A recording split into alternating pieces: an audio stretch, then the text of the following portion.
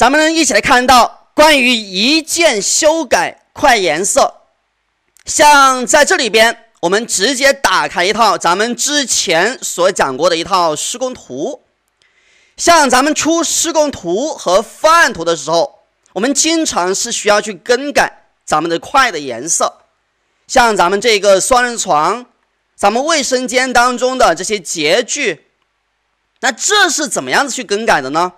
下面老师跟大家总结的有四种方法，分别是分解法、编辑器法、在位编辑法和一键修改法。那么一键修改法，我们把它放在最后边来跟大家去进行讲解。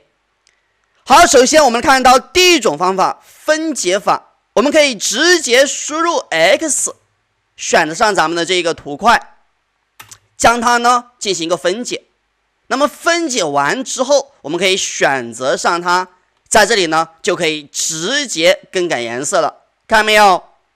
哈，那接下来我们看到第二种方法。编辑器法，我们可以直接双击咱们的这个块，进入到块编辑器当中来。好，这个时候呢，大家可以一起看到，我们选择上咱们对象，就可以直接去更改这个颜色了。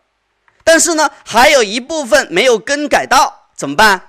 哈，注意，我们同样的可以用 X 分解，将它分解一下，然后呢，再去更改颜色。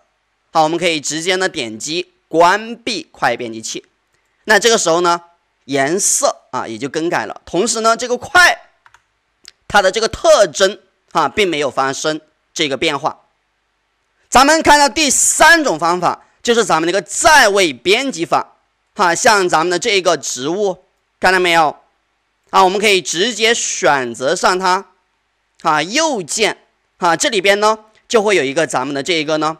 在位编辑，我们直接点击在位编辑块，哈，这个时候我们就可以呢，直接选择上咱们这个对象呢，一起看到我把它改成咱们的这个红色，看没有？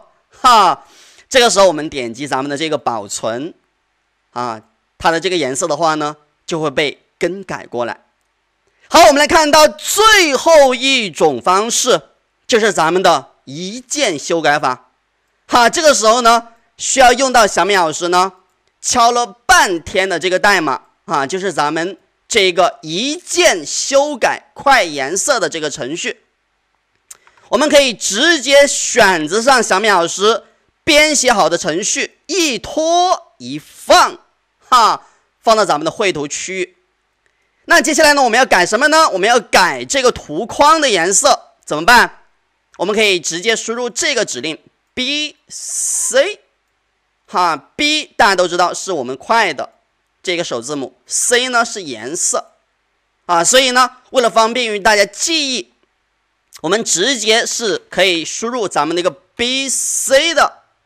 好，这时候选择上咱们的这个图框，选完之后我们按空格键，我要改成绿色，啊，我们直接点击确定。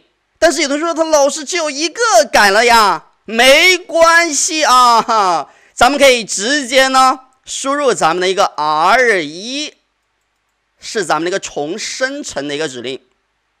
好，我们输入 R 一，一起来看一下。我天呐，哈，你会发现所有的同一个快名的颜色都进行了一个更改，发现没有？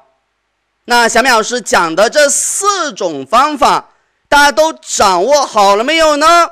掌握好的同学，咱们公屏给我打个一，关注加点赞，关注小米老师直播间，咱们接着分享。